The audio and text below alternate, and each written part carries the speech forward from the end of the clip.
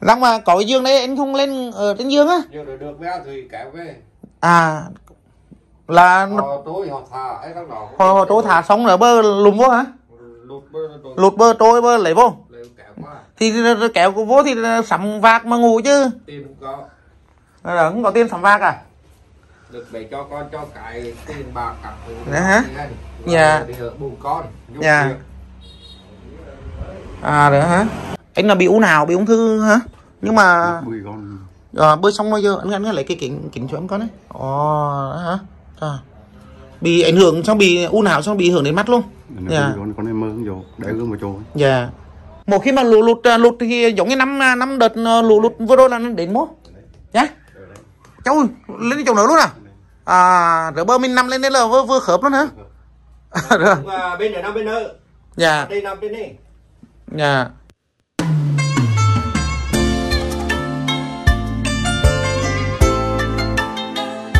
Mến chào toàn thể cô chú anh chị, quý vị khán giả thân mến. Ngày hôm nay Xuân Dũng đang có mặt ở tại à, à, ở đây là thuộc à, thôn Đài Phong, xã Phong Thủy, huyện Lệ Thủy, tỉnh Quảng Bình. Và Xuân Dũng được biết rằng à, và Xuân Dũng được biết rằng là ở đây có một hoàn cảnh cũng à, vô cùng đáng thương. Và hoàn cảnh đó như thế nào ra làm sao thì à, xin mời cô chú anh chị à, cùng Xuân Dũng đến thăm hoàn cảnh này nhé. dạ con tốn thôi dạ dạ Ô gái ở đâu chi nữa? để gương một cái đấy À bị à, Parkinson. sớ Dạ. Dạ với uh, bên đầy đường hả? Dạ. Cháu, cháu là dùng à, con của ông Nhất ở trên đội một đấy. Ừ, о, biết ba cháu không? con rất à, Ông Nhất, ông Nhất con ông- à quên ông, ông Nhất là em của ông Tập á. à, súng à. À, anh của ông Sung. Dạ. Nhưng mà cháu um, chuyển về Đồng Hới ở rồi. Dạ. Thế cũng uh, nghe uh, Tương có nói là ó cũng bị uh, đau ốm bên tất rồi đó. Thế nay uh, cháu ghé thăm. Dạ. nha. Dạ. À, kính thưa các nhà, thưa quý vị, thì uh, cô cô gái hay còn gọi là ó gái thì có hai người con. yeah. À, một à, hồ gia đình cũng rất là hoàn cảnh. À. Long mà có giường đấy anh không lên ở trên giường á? rồi được bé thì kéo về À là họ tối họ thả ấy đó hồi tôi thả xong rồi bơ lùm vô hả? lụt bơ Lụt bơ trôi bơ lấy vô. Thì kéo vô thì sắm vạc mà ngủ chứ. tiền không có Rồi không có tiền sắm vạc à? Được để cho con cho cái tiền bạc cặp hả? Dạ. đi giúp Dạ. việc. À được hả? Anh đây là anh anh Phấn à? Anh ấy, Anh đến hả? con anh qua đâu là biết rồi Dạ, dạ. Con có anh mua mà bị bệnh mà cũng đỡ đó. Anh hả? Anh là bị u nào, bị ung thư hả? Nhưng mà à, bơi xong bao giờ anh anh lấy cái kính kính cho em con đấy. Ồ, hả? À. Bị ảnh hưởng xong bị u não xong bị ảnh hưởng đến mắt luôn. Dạ. con con em mơ không vô để gương vào chỗ Dạ. À, thưa cả nhà thì nhà thì có ba ba uh, ó gái thì có ba người con, người trai. À, anh đâu thì anh mất rồi. Dạ anh qua. À, một anh thì à, dạ kia. anh ở đây. Rồi một anh này nữa thì hiện tại bây giờ là à, hai người con là anh à, anh anh đây với à, anh tên gì em quên đấy. Ừ, tấn tấn Anh Tân nhà là đang ở với đang ở với ó gái. giờ đây nuôi mẹ Dạ. Dạ, ờ, ở với ó là nuôi mẹ. Thành ra là hoàn cảnh cũng khó khăn lắm cả nhà. Đấy, ai dùng có thể à, quay qua cho mọi người biết cái căn nhà này. Ôi trời, áo quần của ai mà để trên đây đi. à quân của anh Của ấy nè hả? Để à? nữa À, mỗi khi mà lũ lụt à, cả nhà thường hay treo nhà năm đó năm lũ lụt là treo lên năm trên đi. đó năm ngoài Rồi, đường dạ. đúng không Dạ. dạ chào anh. Dạ. năm ngoài đường Cái à, em về quê để kẻ vô à, thăm on tí. Dạ. Nghe nói à, hoàn cảnh cũng khổ. Dạ. À, được biết đây thì đây là một trong những à, hồ gia đình những hoàn cảnh hoàn cảnh mà khổ nhất xóm đấy quý vị à, khổ nhất xóm một khi mà lụt lụt lụt thì giống như năm năm đợt lụt lụt vừa rồi là nó đến mốt nhá cháu lên chỗ nữa luôn à à rồi bơ mình nằm lên đây là vừa, vừa khớp luôn hả. Và bên này nằm bên nữa dạ. Đây nằm bên này dạ. À bên này thì nằm bên này ở trên đi. Đây là chủ vô nhà cái sơ ban nghề trôi. Dạ. Đau càng ăn vì à, nước ăn. Không Dạ. rồi đây ra mệt chưa ra mệt chúng ta mệt quá nấu mùi phát mùi sau đi là ui, bếp núc nó tủi thui- đi. Đi làm tay kéo. Chào. nếu rượu chặt cái bề tình kín dạ. Đó phải nói đâu làm việc chỗ cũng phải nói. Nói đây coi vết khỏi mắt cho đẹp. Ai đấy Đấy thì ờ, nhà O là một trong những nhà hộ nghèo và khó khăn nhất ở địa phương. Thì ờ, quý vị biết đấy. Dạ. vừa rồi cũng ờ, đã được ờ, sau khi mà thấy ờ, nhà khổ như vậy quý vị này đó, mọi người thấy không? Ờ, như là những nhà hàng xóm bên thì họ có điều kiện họ khá giả nhưng mà nhà của ao gái là khó khăn. Ờ, và từ đó thì ờ, bên địa phương đã hỗ trợ cho O một ờ, chút à, để O làm cái nhà đây. À, và hiện tại O đang đang ở trong cái căn nhà này. À. À, thì à, O ở căn nhà này O được à, được giúp cái căn nhà này lâu chưa? Ba năm rồi. Hả? Khoảng năm. À hai năm ha dạ. Như O ăn uống gì được nhiều không? Ờ, ăn đi đâm rồi sủa chứ tôi dạ. Ăn bạn chứ ngon thì ăn không ăn rồi Trời ơi, tay để cả nhà. Tay O giờ là rung rung rung rung rung. Vậy. nhà bị Parkinson nè. Đó, vậy à. À. Ó, ó gái năm nay ó được ờ, mấy mươi rồi bảy sáu 76 đấy hả 77 đấy hả? Dạ. Giờ hàng ngày thì à, hàng ngày ó ăn uống về rồi chứ ai đang chăm lo cho ó thằng thằng đóng rồi nữa. Dạ dạ không nhưng mà cháu đang hỏi ó cái anh đó đau thì cháu biết rồi. Anh bị bệnh ờ, cũng bị ảnh hưởng đến thần kinh thì cháu biết rồi. Nhưng mà đang nói ó à, ai là người đang mà chăm lo cho ăn uống đó?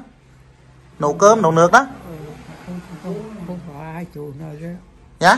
Chú nơi đó chú đau nơi đó chú đau ni ra à, à cái chú ờ, chú anh anh anh anh anh anh tấn đó hả? À, dạ anh tấn là bị u nào Dạ. đủ dạ. Tức là hai bây giờ một người u não đang chăm một người mẹ bị à, bệnh vừa là đái tháo đường mà vừa bị bệnh Parkinson vậy nè. Đó hai người ở với nhau và nuôi vậy. Còn cái anh bên kia thì anh bị à, bị bệnh à, có lẽ là bị bệnh về tâm lý. Thế thôi thì mình à, ừm, dạ, mình, mình mình mình chỉ nói sơ qua vậy thôi. À, quan trọng ở chỗ là muốn đến để cho cô chú mà mình thường quân được biết rằng là ở đây có một hoàn cảnh là một người mẹ là năm nay 77 tuổi à, bị bệnh như vậy đây. Và đang được một người con bị bệnh à, à, u não đang đứng ra để mà chăm sóc. Dạ. Dạ. À, anh anh Tân đừng nói cho em hỏi thì anh Tân. À. anh Tân cho em hỏi là là là, là anh à, có vợ con gì không? Không. Không hả? Năm nay anh được mấy mươi rồi ừ, bày lắm sinh năm 75 hả? À sinh năm 75 à, không vợ con gì hết? Dạ rồi thì à, anh bị bệnh là lâu chưa? Lâu đâu dạ đã đi trị ở đâu chứ anh trì ra hắn mổ dạ. Trì ra đây hắn mổ năm về còn một tháng rưỡi. À dạ. Nhưng mà bây giờ thì à, ổn định chưa? Cái bệnh của anh á? Thì cũng đỡ đeo hai hồng phục dẹp đau. À uống thuốc giảm đau à? Dạ cái hiện tượng của anh mà thường hay ờ, bị ảnh hưởng mà khi mà bị bệnh u não này là như thế nào? Khi nó mình lẽ dạ? Mắt mình lẽ dạ rồi hay chóng mặt nhức đầu chứ không? Còn nó chứ đâu về mình nốt. Buồn nôn dạ thì bây giờ từ khi uống thuốc thì bây giờ nó đỡ hơn không? Có đỡ hơn đeo hai hồng phục nhà đó bọn phàn đến cái món đau nó ngủ thôi. À có thuốc nhưng mà khi nào đau thì mới uống. Dạ. Trước đây em điều trị để tốn hết nhiều tiền không? À, đi hôn nghèo không có tiền. Hồ nghèo cho nên tốn không có tốn có tốn tiền hả? Tụng dạ. hắn dạ. À, rồi thì hàng ngày thì à, anh với à, o đây thì ăn uống thì mọi cái sinh hoạt hàng ngày thì à, mình lấy tiền từ đâu để mình sinh hoạt? Tiền hai một sổ. Hai cuốn sổ. Dạ là tiền sổ gọi là sổ gì? Sổ hộ nghèo. sổ tan tật ạ. Sổ tàn tật à sổ tàn tật thì được có bốn trăm mấy chục nghìn. Bảy trăm hai. Một người bảy trăm hai hả? Bảy trăm hai là mê. Còn anh năm tứ họ trợ cấp năm à, của anh là năm trăm tư. Năm tứ mê. bảy trăm hai à anh năm trăm tư là về, về, về ảnh hưởng vì bị mắt đúng không? Dạ. Nào à, nắp nào là bị không anh bị nào thì ai hỗ trợ đâu nhưng mà anh bị ảnh hưởng đến mắt. Là thuộc à, dạng người khuyết tật thì hỗ trợ được 540 đúng rồi. Mẹ thì à, vừa người già rồi vừa kia nữa thì mới cộng lại mới được 720 thôi. Chứ là dạ. À, chắc là vậy. Là tính tính ra hai mẹ con là một tháng được à, khoảng một triệu hai. Dạ. Một triệu hai. Sao mà sống đủ anh? Nó có thể đủ Anh phải có thể đủ. Ăn đặt phát đầy đủ. Đó, thưa cả nhà thì à, mọi người đang thấy cái cảnh ở quê à, ở quê hương của Xuân Dũng thì vẫn có những hoàn cảnh là à, hai mẹ con mà chỉ cần một triệu hai thôi vẫn có thể sống đủ. À, đều đồng đủ đi hỏi đi đánh đủ những cái họ đau ốm có tiền thuộc rồi đấy à, đau ốm này không có tiền mua hoặc là giống như ai đó mà mời à, à, đám dỗ rồi đám cưới gì anh có đi không? Đi họ cho lại. À đi rồi họ cho lại. À ở đây cũng hay cái ha. À, đi xong rồi người ta cho lại. Nhưng mà có những cái ví dụ như đi à, à, đi cái việc mà đóng như là hiếu hỉ thì người ta cho lại nhưng mà cái cái việc mà tang lễ thì đâu có ai cho ai cho lại. Dạ. có khi nào mà có khi nào mà anh đã từng thấy như vậy mà anh không không dám đi không? Vì mình không có tiền không? Đi đi hỏi sao con mẹ mình à vẫn đi. Nhưng mà cái đi mà nếu như mà đi bây giờ mà ở quê mà đi thì cũng phải hai trăm nghìn để anh tiền đâu anh đi năm chục ba chục. À đi năm chục ba chục thôi. Giống như là mình đến có lòng để mà vậy thôi phải không? Dạ. À, Em hỏi anh Tân là bây giờ cái mong muốn của anh là hiện tại bây giờ là anh mong muốn gì nhất? Đủ sống này đấy. Dạ. À, Anh cứ mong muốn cái điều gì á thì anh cứ chia sẻ cho em được biết được không? Để nó có hỗ trợ cho em để em đi bắt rồi. Cái hôm nay À Tức là anh cũng muốn là nếu như mà được ai đó giúp đỡ cho anh một à, một một ít để anh có cái à, trang trải hàng ngày để cho anh với người mẹ già ăn uống phải không? À, à, ăn uống và sinh hoạt hàng ngày thôi. Dạ, còn anh cũng không mong muốn rằng là có thêm tiền để anh đi khám bệnh và anh có cái cái cái cái giải quyết cái bệnh của anh cho đến uh, dứt điểm hả? không Anh không mong muốn được như vậy hả? Sao anh quá thiệt thà quá vậy? Không. À, thưa các nhà thưa quý vị à, thì à, ừ, ừ, trong cái video này có những lúc Dũng nói dòng địa phương có những lúc nói dòng này dòng kia thì rất là mong cô chú thông cảm tại vì là lâu lâu Dũng về quê thì đôi khi cũng muốn nói chuyện với người quê nhưng mà đôi khi lại có những cái cái cái cái, cái, cái, cái, dùng từ đôi khi vẫn còn mang cái tiếng ở trong Sài Gòn cho nên là rất là mong mọi người thông cảm. Yeah. À, người quê ở Xuân Dũng là ở, ở miền Trung là vậy à, thường thì họ cũng không nghĩ rằng là sẽ mong muốn được giúp đỡ nhiều à, cứ à, chỉ cần mong sao là chỉ đủ ăn đủ sống qua ngày là được. À, còn cái căn bệnh nan y mà căn bệnh mà u não của anh thì anh cũng chưa bao giờ nghĩ tới rằng là sẽ được ai giúp để anh có cái số tiền đi khám bệnh hoặc là mua thuốc tốt hơn để để điều trị dứt điểm cho căn bệnh của mình. À, cho em hỏi anh Tân là cái cái cái, cái bệnh của anh á thì người ta kết luận là u là u như thế nào? U dằng u, u hiền á. U hiền à cũng hên cho anh là u hiền nhưng mà nó là cái chính cái u đó nó phát triển thì nó làm ảnh hưởng đến một số thần kinh ở trong não của mình. Cho nên là nó kéo làm cho mắt anh bị mờ đi.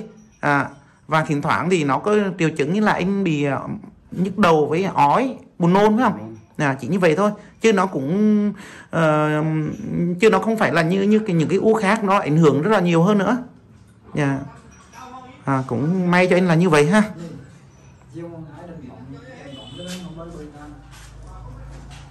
Đấy, thưa, à, thưa các nhà, à, cái cảnh người à, mẹ già đang nằm như vậy cùng với à, người con bị bệnh tật, à, Dũng cảm thấy cũng rất là xót xa vô cùng. Khi mà bản thân Xuân Dũng thì ở quá xa, à, ở quá xa, cho nên là mỗi khi mà về quê Dũng cũng muốn về quê giúp đỡ những hoàn cảnh ở quê lắm. Nhưng mà ở quá xa Dũng cũng bất lực không biết làm gì. À, lâu lâu thì Dũng về quê thì lại nghe đâu đó vẫn còn có những hoàn cảnh đau thương như vậy.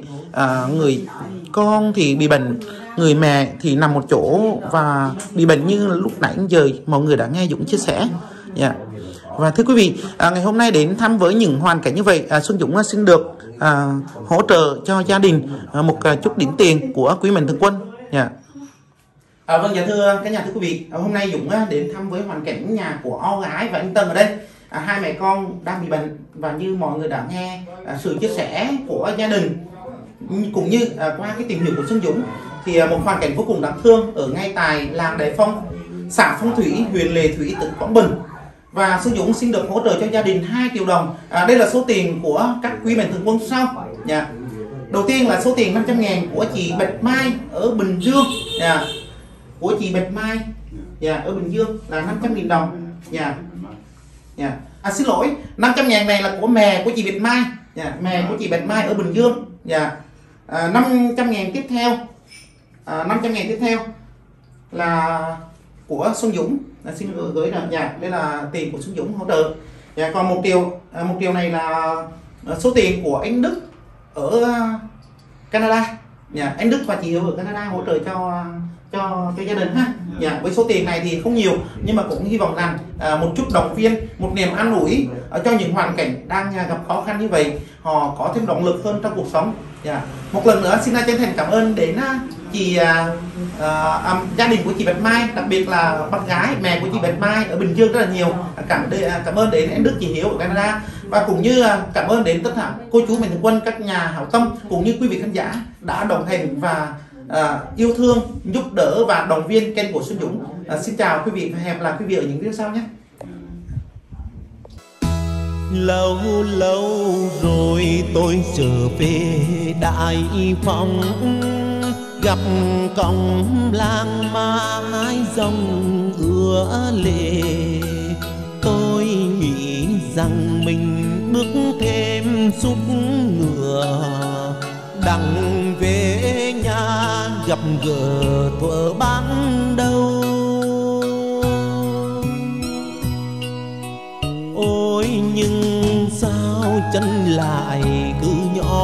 đau có phải chẳng mình đã mau